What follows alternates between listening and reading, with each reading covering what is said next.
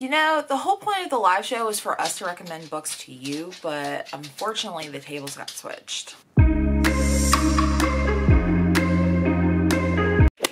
Guys, what's up? My name is Jessie and welcome or welcome back to my channel. Today we are doing something a little bit different today. Before we get into the details, I wanted to let you know that me, Jacqueline, and Gwen actually host a live show over on Jacqueline's channel called Recs by the Bottle. It is a quarterly live show where we give specific book recommendations to you. And the last one we did in April, basically we got a little bombarded by recommendations about an author chevy stevens i personally have not read anything by this author i've heard this name float around here and there but nothing concrete to where it made me interested to pick up anything by this author. Like I said on the live show, we were actually flooded with all of these recommendations about Chevy Stevens. I think we were told that she writes really dark, mysterious thrillers, and I was already hooked by that. So I'm not sure exactly how this started, but one thing led to another, and me, Jacqueline, and Gwen were like, hey, what if we did like a collab video about Chevy Stevens? So basically, we each decided to pick up one of her backlist titles read the book, take you guys along with us, and give you our honest thoughts. So, before I jump into the book that I picked, make sure you follow Gwen and make sure you follow Jacqueline so that way you can see their thoughts and opinions as well. And make sure you subscribe because these ladies are top notch. Anyways, I think Gwen is picking Still Missing and I'm pretty sure Jacqueline is going to do those girls. But I decided to pick up That Night by Chevy Stevens. This is my library's copy. And this one just sounded so interesting. Let me read the synopsis. As a teenager, Toni Murphy had a life full of typical adolescent complications. A boyfriend she adored, a younger sister she couldn't relate to, a strained relationship with her parents, and classmates who seemed hell-bent on making her life miserable. Things weren't easy, but Toni could never have predicted how horrific they would have become until her younger sister was brutally murdered one summer night. Toni and her boyfriend Ryan were convicted of the murder and sent to prison. Now 34, Toni is out on parole back in her hometown, struggling to adjust to a new life on the outside. Prison changed her, hardened her, and she's doing everything in her power to avoid violating her parole and going back. This means having absolutely no contact with Ryan, avoiding fellow parolees looking to pick fights, and steering clear of trouble in all its forms. But nothing is making that easy. Not Ryan, who is convicted he can figure out the truth, not her mother, who doubts Toni's innocence, and certainly not the group of women who made Toni's life hell in high school and have darker secrets than anyone realizes. I love the fact that there's going to be a realistic sister relationship between our main character and her sister because it kind of reminds me of me and my sister. Like when we were growing up, we did not get along or relate to one another. We're fine now, but growing up, we absolutely couldn't stand each other. And I think it's going to be interesting with like the parents and the boyfriend. I don't know.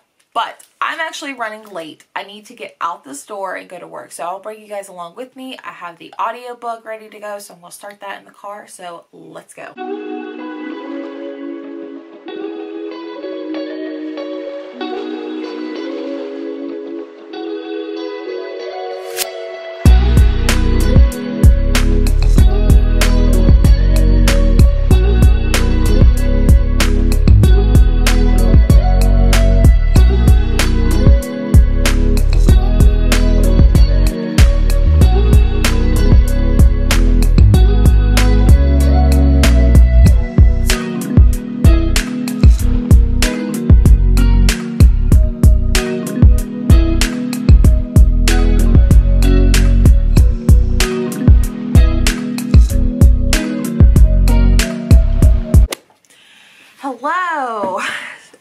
Excuse my appearance. Let me fix my hair. okay, now that my hair isn't like that bad, um, I have a small project. So I have been working on this small children's vanity all my life. Like this has just always been my work desk. So I have ordered a desk for my reading office and I'm so excited. It's supposed to be here Thursday, possibly Friday, but I'm so freaking excited. However, it is a much bigger desk. It's an L-shaped desk. It is an L-shaped desk and I'm so freaking excited to actually have a designated real desk for all my YouTube editing, my crafts, everything. I'm so freaking excited. Let me show you what I ordered. So this right here is the desk I'm getting. My husband has one very similar, but it's black. And I have searched high and low for a white desk like this. So I'm so freaking excited. But I'm about to expose myself because everything on this side of the room is an absolute mess. So I have to get rid of this huge storage thing. I'm going to have to move everything around for this desk to work. So my husband said he would help me put this together if I got the room ready. So I'm about to show you the humongous mess that's on this side of the room. So, and then as I'm cleaning the room and doing all that, I'm going to listen to my audiobooks. So, it's really embarrassing. So here is my current desk right here. It is again a very old, but then I have another bookshelf here which is staying. I just have to figure out where I'm putting it. I have to get rid of this organizer, that's going away. So I need to get rid of everything that's in there. I need to figure out what I'm doing with all this. But I feel like I could totally do this. So it's just this corner. As for the book though, I completely forgot where I put it. I'm actually really, really liking the book so far. It's very, I don't even know how to describe it. Like it's very easy to read and I feel like, I don't know how to describe it without saying like it like captures like your attention span. I don't know. It, that's such a weird thing to say. But we have our main character, Toni. She's like 17, 18 years old. She's a senior in high school. And basically she has this rebel boyfriend whose family's like from the wrong side of the tracks and everything. Um, she's completely in love with him. Then she's got a sister who is like the perfect sibling ever. Um, like her parents just love Nicole, the younger sister. Like she's just can do no wrong. And then you have her mom who is such a complete hard ass on her. And then her dad who cares so much for Toni. However, he doesn't like to deal with confrontation and things like that. So the mom basically kind of runs the show around the house. Then you have Toni's ex friends Shauna and a few other girls, mostly Shauna. Shauna is the most popular girl in school, I think, and basically something happened. I think like there was a rumor that went around that Toni was did something to Shauna's boyfriend and of course Shauna believed her, so believed that rumor. So Shauna's just out to make Toni's life a living hell. So, but Toni's got her boyfriend who she loves. I feel like Ryan actually has a good head on his shoulders. Like I feel like I'm getting the vibe that he's actually a really decent guy. Hopefully the plot twist won't make me regret saying that, but I feel like he's honestly a great guy. That's all we're getting. We're kind of getting like glimpses of just her past. So we have chapters of the past before the night. We have chapters of Toni as she's like you know, dealing with everything that happened and basically going to jail, her life in jail and things like that. So we're kind of having two timelines even though we had a first timeline where she's getting out of jail. So that part confuses me. Mostly we have before that night and then everything of her leading up to her going to jail and her life in jail. So I'm actually really, really enjoying this. I like the audiobook. I love the writing style. Oh, I did forget to mention that the writing style is very similar to what I would think Jennifer Hillier with Jar of Hearts. I feel like this book and also Jar of Hearts has a very similar feeling and tone. Basically, a teenager is going to jail for a murder that she may or may not have done and I don't know. I love like the whole like I love the glimpses of life in jail and I love the glimpses of like what happened before, what's going on after. So if you like Jar of Hearts by Jennifer Hillier, I think you would like That Night by Chevy Stevens or vice versa. So I'm only like 100 pages into the book, so hopefully this book won't let me down. But I'm going to tackle this corner so I can get my desk ready because I'm so freaking excited.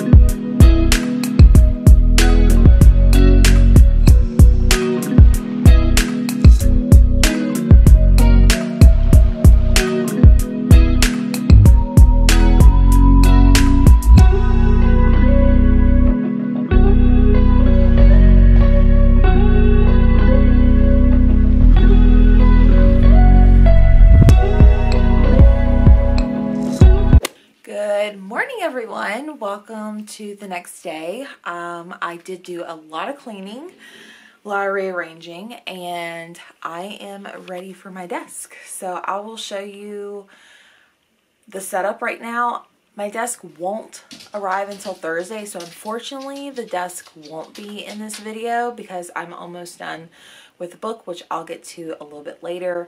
However I'm so excited. Maybe I'll do like a reading room office tour. Let me know in the comments if that's something you're interested in. So let me show you. So it is very much still looking like a mess, but honestly, I just need the desk to get here so I can figure out like where to put things. But you have the bed right here, which Obi has already claimed as his bed. But the desk is going to go right here. It's L-shaped, so it's going to go right here and here. So these two things will be going away. I just need the desk to get here for me to put stuff on it. So that's why it looks like a mess, but I'm so excited. And then I have my normal thing. Because I do like to have that in the backgrounds, especially as a reading channel. So yeah. Alright, so now we're in the car. I'm about to head to work, but before I like put this thing in drive, I wanted to let you know that I made a huge stint into that night. And you guys, I am really, really liking this book. I still don't know 100% who could have murdered Nicole.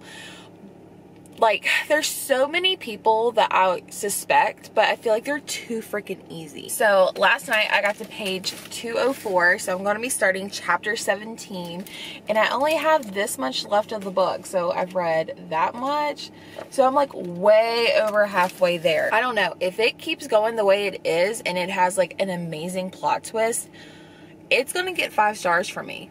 Just so you know. We've gotten to the part where Toni and Ryan have met back up and like this is just getting so good. Like I really want to know who murdered Nicole. I usually don't like books where we know who got murdered and then we're trying to figure out the entire way like who actually murdered, but there's so many different elements and layers into this story. I'm just like so intrigued that I don't really care that I know Nicole is dead. I just want to know what happened that night because there's so much more than just the murder. There, I feel like there's going to be so much more than just that element. So I'm really excited. So I'm going to listen to the audiobook on the way to work and I will update you guys probably around lunch or maybe after work.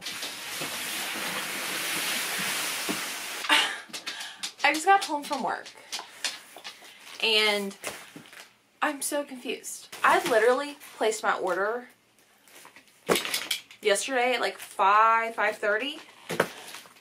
How is it already here? I was telling people yesterday, I am like unbelievably spoiled when it comes to Amazon Prime. So that's why I don't really shop at other websites because I will not get this fast delivery. Anyways, here, I mean, I'm hoping this is my desk. Ah! I'm so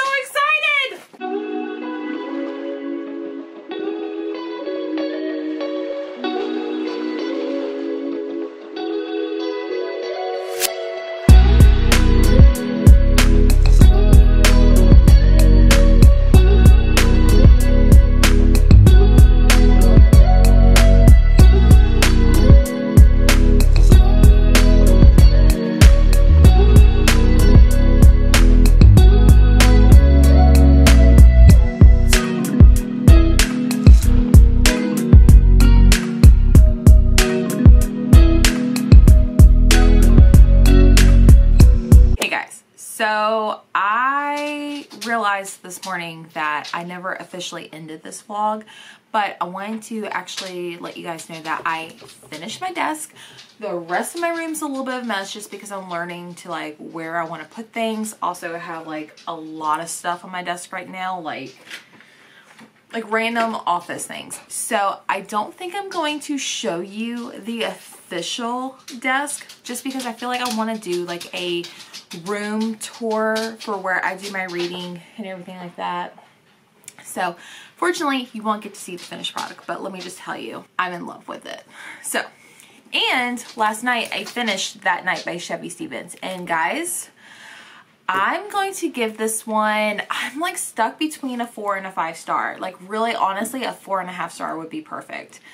but ah, maybe I typically don't do half stars, but I think I'm going to give this one four and a half. This book had everything that I wanted. It definitely kept me intrigued and I felt like it was truly thrilling and honestly, I'm I'm shocked that I'm shocked about who Nicole's killer was actually like I did not like I should have seen that coming but I didn't see that coming. Does that make sense? So some things I want to mention I really love the writing style. I feel like Chevy Stevens writing is very easy to get into. I never was once bored or like skimming or anything like that. I definitely felt like her actual idea of the story was very interesting. And like I mentioned I do think if you liked Jar of Hearts by Jennifer Hillier. I think you're going to really like this one just because like it definitely has the same tones, same vibes and everything like that. But I feel like I like the writing style of Chevy Stevens a little bit more. That's just my personal opinion. I also feel like I definitely need to pick up more by this author. I have already have a bunch of her books in my cart on a website, so I will be doing some more purchasing of her books. But yeah, I really, really like this one. I feel like this is might be one of my favorite top three thrillers I've read this year. So yeah, I would love to know if there is another Chevy Stevens book that you want me to read down in the comments or another recommendation. I also have the NetGalley arc of Dark Roads, which is her newest release that comes out this year. So I think I might try to pick that one up pretty soon. I will say I'm very interested to know like what Jacqueline thought of her book as well as Gwen. So I'm definitely going to be checking out their videos. Definitely check out the description so you can check out their channels and their videos. So yeah, that is everything for this video. I hope you guys enjoyed it. Make sure you give it a thumbs up and make sure you subscribe so you can see my little office tour that I'm still currently trying to work on. But yeah, thank you so much for joining me and I will see you guys in the next video. Bye.